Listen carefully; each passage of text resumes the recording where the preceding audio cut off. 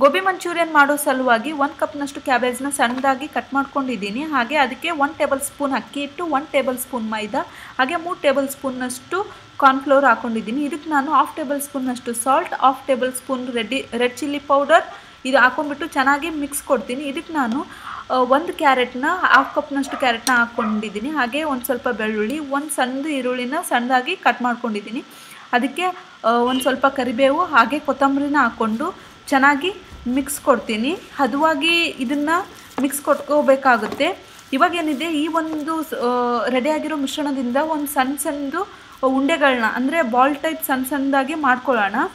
ಮಾಡಿಕೊಂಡು ಸಪ್ರೇಟಾಗಿ ತೆಗೆದಿಟ್ಕೊಳ್ಳಿ. ಇವಾಗ ಏನಿದೆ, ಒಂದು ಕಡಾಯಿಗೆ ನಾನು ಎಣ್ಣೆನ ಕಾಯಲಿಕ್ಕೆ ಇಟ್ಕೊಂಡಿದ್ದೆ ಅದಕ್ಕೆ ನಾನು ರೆಡಿಯಾಗಿರೋ ಈ ಈ ಒಂದು ಉಂಡೆಗಳನ್ನ ಹಾಕೊತೀನಿ. ಹಾಕೊಂಡ್ಬಿಟ್ಟು ಚೆನ್ನಾಗಿ ರೆಡ್ ಆಗೋವರೆಗೂ, ಸ್ವಲ್ಪ ಬ್ರೌನ್ ಆಗೋವರೆಗೂ ಚೆನ್ನಾಗಿ ಡೀಪ್ ಫ್ರೈ ಮಾಡ್ಕೊತೀನಿ ನಾ ಇದನ್ನು.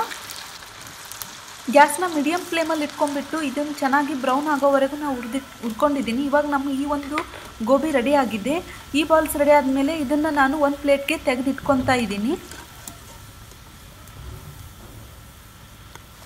ಇವಾಗ ಏನಿದೆ? ಒಂದು ಕಡಾಯಿಗೆ ಒನ್ ಟೇಬಲ್ ಸ್ಪೂನ್ನಷ್ಟು ಎಣ್ಣೆನ ಹಾಕೊಂಡ್ಬಿಟ್ಟು ಅದಕ್ಕೆ ನಾನು ಸಣ್ಣದಾಗಿ ಕಟ್ ಮಾಡ್ಕೊಂಡಿರೋ ಬೆಳ್ಳುಳ್ಳಿ, ಹಾಗೆ ಒಂದು ಮೆಣಸಿನ್ಕಾಯಿನ ಸಣ್ಣದಾಗಿ ಕಟ್ ಮಾಡ್ಕೊಂಡಿದ್ದೆ. ಅದನ್ನು ನಾನು ಹಾಕ್ಬಿಟ್ಟು ಒಂದು ಚೆನ್ನಾಗಿ ಮಿಕ್ಸ್ ಕೊಡ್ತೀನಿ.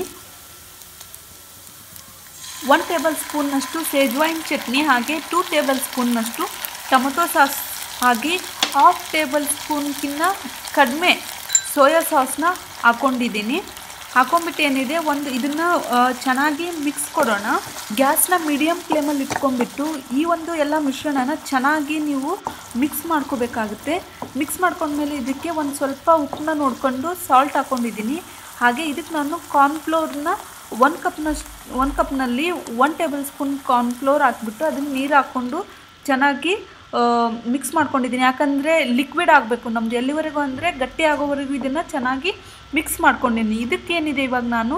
ನಮ್ಮ ರೆಡಿಯಾಗಿರೋ ಒಂದು ಗೋಬಿ ಬಾಲ್ಸ್ ಏನಿದೆ, ಆ ಒಂದು ಬಾಲ್ಸ್ಗಳನ್ನ ನಾನು ಇದರಲ್ಲೇ ಹಾಕ್ಕೊತಾ ಇದ್ದೀನಿ.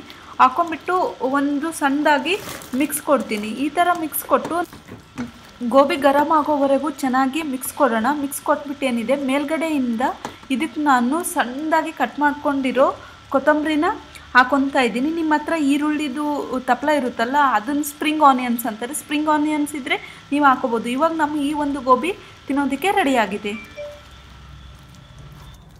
ಇಷ್ಟೇ ನಮ್ಮದು ಈ ಒಂದು ಇವತ್ತಿನ ವಿಡಿಯೋ ಈ ಮಂಚೂರಿಯನ್ ವಿಡಿಯೋ ನಿಮಗೆ ಇಷ್ಟ ಆದರೆ ಪ್ಲೀಸ್ ನನ್ನ ಚಾನಲ್ಗೆ ಸಬ್ಸ್ಕ್ರೈಬ್ ಆಗಿ, ನನ್ನ ವಿಡಿಯೋ ಲೈಕ್ ಮಾಡಿ ಶೇರ್ ಮಾಡಿ.